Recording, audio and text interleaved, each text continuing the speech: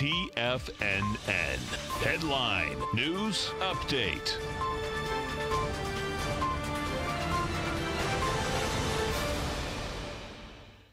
Coming live from TFNN headquarters in Clearwater, Florida, 2 p.m. Eastern Time, two hours until that closing bell. Let's check in on the markets on the Tuesday after the long weekend. Looking at markets, currently all negative. Dow Jones negative by 28 points, trading 24,725.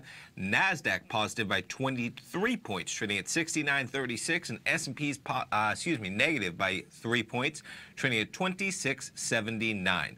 Other news out there. Let's jump over to the Nadex platform, check in on some of the futures markets. Start things off with the NASDAQ 100, near the highs of the day, currently trading at 64.61. Dow 30 got quite a thrust on the opening bell. From there, we've trickled down a little bit, currently trading 24,755.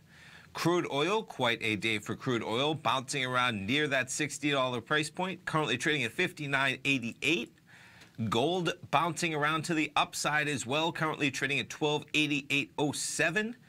Euro US dollar, quite a little run it had near the opening bell. Euro bouncing up to 118.75, currently trading at 118.68. And how about Bitcoin? Bitcoin above 16,000 after being down at 11,000 just last previous Friday currently trading at 15,654 on Bitcoin.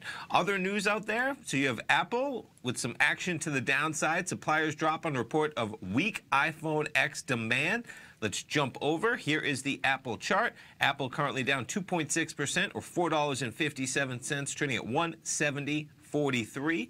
Other news out there, whether it's Real news speculation Amazon planning to push into digital advertising in 2018, challenging the thrones of Google and Facebook. And whether this is affecting the stock or not, Amazon up for the day. And on a day when you have the NASDAQ down, markets down, Amazon up 0.6%, trading at 1175.84. Not bad. Amazon just marches higher. Uh, S&P Shiller Home index up 6.2%. So prices in real estate doing well, that's for sure. We'll see if they continue the trend into 2018.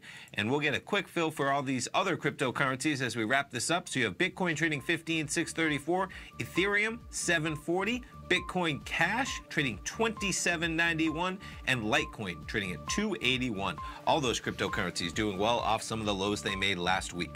Stay tuned. Great day of programming to finish the day up. We have Tom O'Brien live from 3 till 5. He'll wrap up the trading day and I'll talk to you next hour for a top of the hour update at TFNN.com. Have a great day, everybody.